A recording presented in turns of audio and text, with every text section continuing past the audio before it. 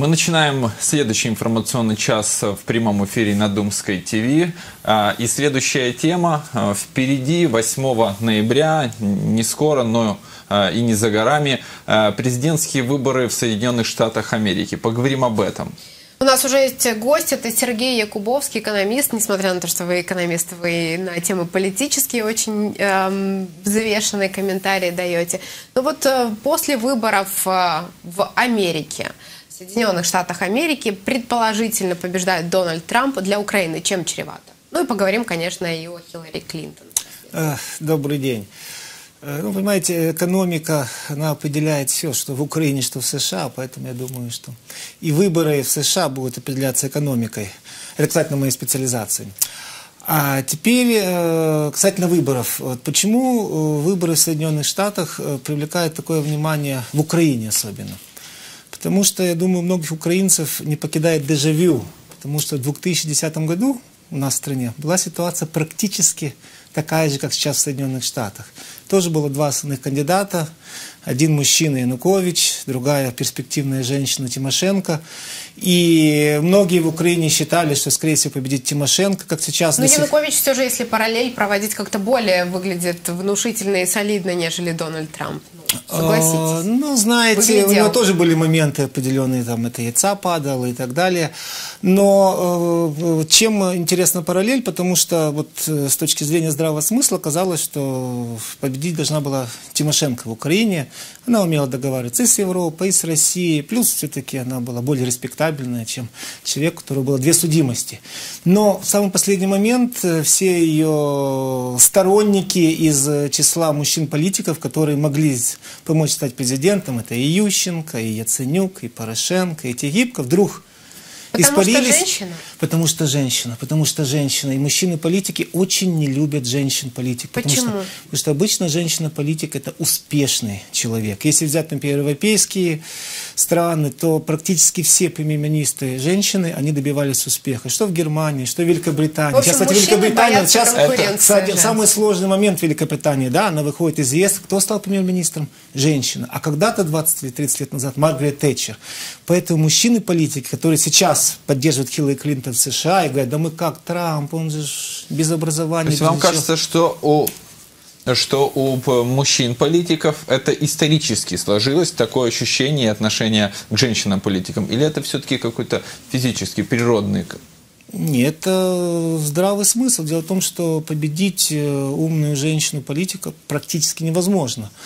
Да, и как, э, скорее всего, Юлия Владимировна Тимошенко еще где-то будет фигурировать в Украине, э, так э, и Хиллари Клинтон.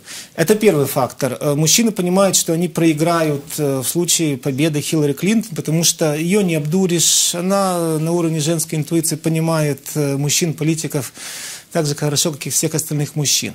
Второй фактор немаловажный, почему может все-таки победить Трамп, как в Украине – Э, большая часть простого населения проголосовала за Януковича, потому что он ближе, он проще, он понятнее, он свой человек, тем более зная его историю. То же самое с Трампом в Соединенных Штатах Америки. Он иногда говорит откровенные глупости с точки зрения здравого смысла, но простой американец, который, в общем-то, нигде особо не учился, он видит человека, который вроде говорит простым языком, понятным, поэтому что Трамп... думает по поводу Дональда Трампа журналист-международник Тарас Панё? Мы узнаем прямо сейчас. Тарас, вы на связи со студией. Здравствуйте. Доброго дня всем. Ну вот хотелось бы сразу у вас узнать, э, чем чревато для Украины э, президентство Дональда Трампа, особенно в свете его последних высказываний о том, что если он станет президентом, он пересмотрит решение по поводу санкций в отношении Российской Федерации и, возможно, даже признает Крым российским.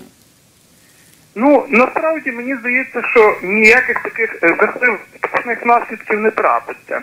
Е, Ми, власне, як вже е, було сказано переді мною, Дональд Трамп дуже часто говорить те, що хочуть від нього почути, і це зіграло з ним злий жарт.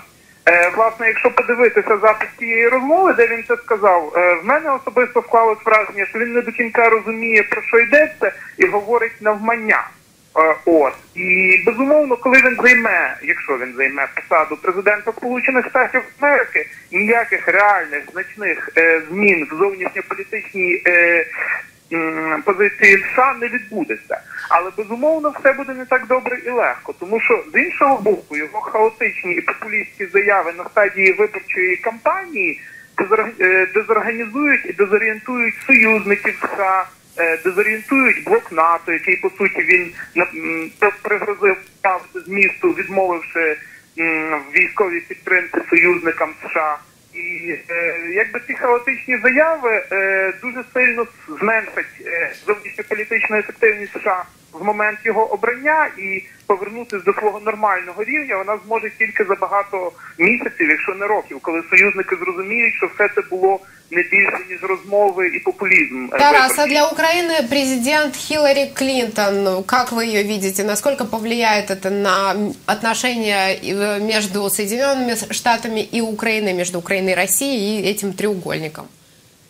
Е, Насправді е, кандидатура Хіларі Клінтон е, була би безумовно для України оптимальною, тому що вона е, бачить небезпеки несе в собі Росія і має великий і потужний досвід е, політики стримування на Росії.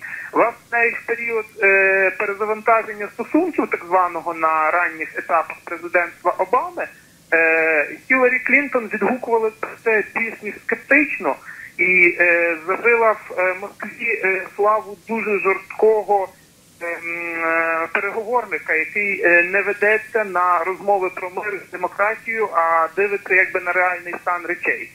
Е, Саме через це, е, власне, і виникла теперішня історія, вочевидь, е, з хакерською атакою на сайти демократичної партії і розголошенням її переписки і всіма іншими подібними речами. А от Тому вас, що- ваш прогноз все ж хто буде президентом США следующим? Е, На жаль, є доволі велика імовірність, що це буде саме Дональд Трамп. Е, Американські обивателі втомилися від е, того, що США виконують роль світового поліцейського, при тому, що їхній рівень добробуту, яким здається, є недостатнім. А Трамп, який говорить прості, зрозумілі і приємні їм речі, і обіцяє зосередитись на економіці, на соціальній сфері, на допомозі бідним американцям. Він має дуже великі шанси завоювати зараз популярність, і він це активно робить.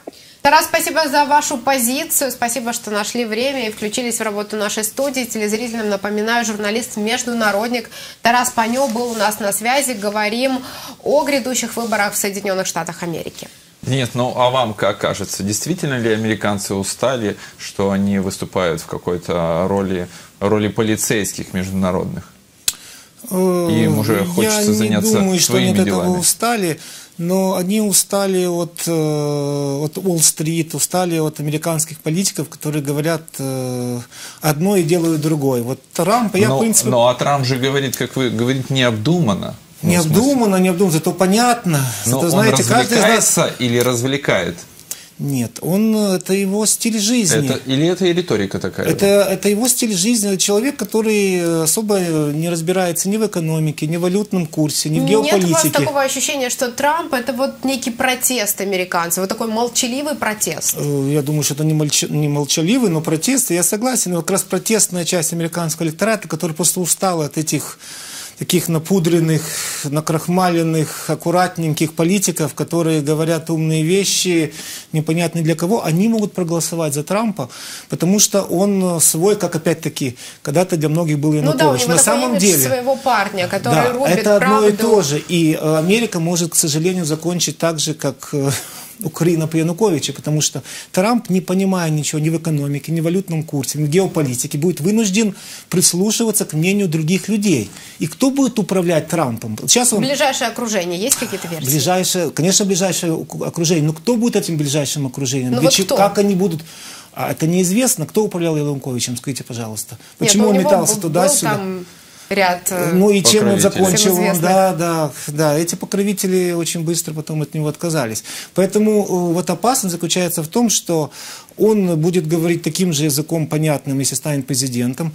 Кто будет управлять страной, особенно в сфере экономики, абсолютно непонятно, потому что Трамп... э, Для Украины все же кто лучше, Трамп или э, Клинтон? Для Ук- Украины однозначно ситуация ухудшится. Почему? Если Потому- будет? В любом случае, в любом случае, в любом случае ситуация э, отношение к Украине станет значительно жестче. Почему? Потому что Обама стал э, э, заложником той политики, которую он проводил в Но Обама 2014 поддерживает году. Хиллари Клинтон. Э, Обама поддержал э, революцию достоинства в Украине, как, в общем-то, европейские лидеры. Теперь он уже вынужден для того, чтобы сохранить лицо, делать вид, что все в Украине относительно хорошо, несмотря на то, что показывает по американскому телевидению. Именно поэтому Трамп сказал про Крым и про Россию, потому что э, обыватели американские, они не столь глубоко понимают ситуацию, они видят картинки из Украины, видят э, уровень коррупции в Украине, видят, как американские деньги раскрадают, раскрадаются в Украине. И Трамп говорит, там мы же разберемся с Украиной. И... Ну, там по Крыму, например, он говорил, что это не проблема Соединенных Штатов, он вообще против вмешательства Соединенных Штатов, и этим должна заниматься вопросом Европа, по его мнению. По его мнению, да. И это нравится, э, нравится просто американцам. Же Касательно нравится. Крыма, я, ну, конечно, нравится. Почему Америка должна, мало того, что она в Ливии, в Сирии, в А вот Ираке, в риторика, что Афганистане, Обама еще... слабак, это вот на контрасте с ним сильным или с кем? Я полностью с, согласен, с что Хиллари э, Клинтон сильный. в внешней политике Обама, к сожалению, вы абсолютно правы, слабак. И, в общем-то, Соединенные Штаты за последние... Это не четыре- я, это Дональд Трамп прав. Э, я, я да, так, да, вот возможно, когда, не кстати, считаю. Хиллари Клинтон была э, государственным секретарем, то была какая-то политика, какая-то стратегия у Соединенных Штатов Америки. Кстати, э, Соединенные Штаты очень хорошо договаривались с Россией. Тогда был Медведев президентом, и Хиллари Клинтон и по поводу Грузии договорилась, и по поводу Ливии, когда Россия поддержала Сейчас мы можем уйти далеко в историю. Хотелось бы понять э, вот в рамках нашего разговора о предстоящих выборах в Америке, если все-таки э, Трамп, насколько плохо, три тезиса, и если э, э, Хиллари Клинтон, насколько плохо или тоже или хорошо, или не так плохо, тоже три тезиса. Значит, э, если победит Трамп, э, плохо будет э, всем. Особенно в Европе, в Юго-Восточной Азии, потому что человек абсолютно непредсказуемый и совершенно непонятно, какую, э, прежде всего, экономическую политику начнет проводить э, Это будет зависеть от его окружения. это будет зависеть от его окружения и насколько вот он захочет доказать э, и воплотить те тезисы, о которых он говорит. То есть вполне возможно он решит снизить налоги для бедных, вполне возможно он займется денежной миссией, как в общем-то у нас Вот- часто в Украине. То есть популизм он опасен для экономики. А учитывая, что от доллара и от политики США зависит, э, в общем-то, весь мир, то здесь непредсказуемость политики США может нанести ущерб Сейчас мы узнаем, что думает, наверное, небезызвестный вам Денис Яковлев по этому поводу. Через две минуты он появится в этой студии. Вас благодарим. Приходите к нам еще обязательно. Через две минуты возвращаемся с новым гостем, но с этой же темы. Будьте с нами.